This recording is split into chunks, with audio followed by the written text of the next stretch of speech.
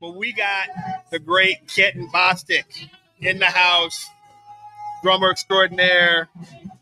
He has a very unique style that is his own, which is one of the the great things that, that I feel like are lacking now is your own vibe, your own style. Because you were playing a lot of Afrobeat Yeah, stuff, like Afrobeat, and that really yeah. kind of opened up the whole, you know, the whole thing, right? So talk a little bit about that, man. Well, you know, um, just being connected to you know the community of musicians in Atlanta, man. is, You know, gathering them um, and, and just uh, taking away from a lot of other cats that use the shit and, and play around, man. Taking different ideas from guys. So I, I don't know, man. It's a big. Uh, uh, collective thing, man. I, you know, I, I kind of drained a lot from cats like you and like Little John Roberts. You know, the, the scene was available for it. You know what I mean? So, Right. like, being able to come and actually touch guys who are experimenting in different ways, Right, with different styles, you know, right.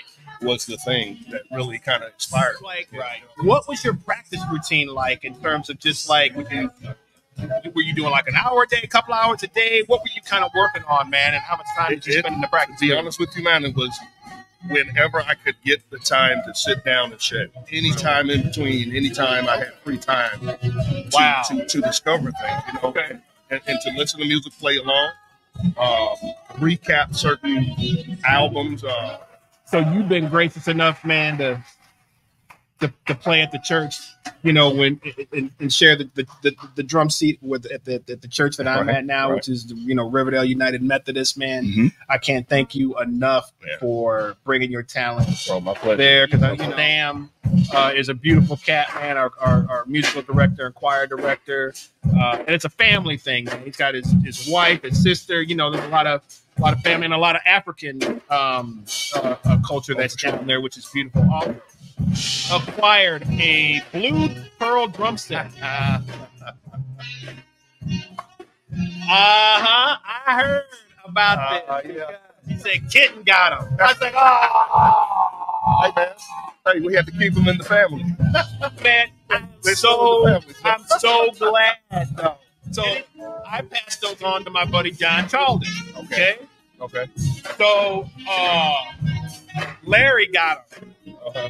from there. I don't know how you got now. How did you get them, bro? That's what I want to know. Uh, Larry, Larry told me, he said, hey, man, you got a few days before I post these. If you want them, let me know. You can't get better than uh, I, I, a maple sound, man. A Like Maple Pearls. I, I, I mean, uh, yeah. as soon as they started, I heard. I was like, "Damn, I shouldn't have let those go." You know, man, whenever you want to borrow, we can. That's I'm glad you got them, dude. Couldn't have gone to a better cat.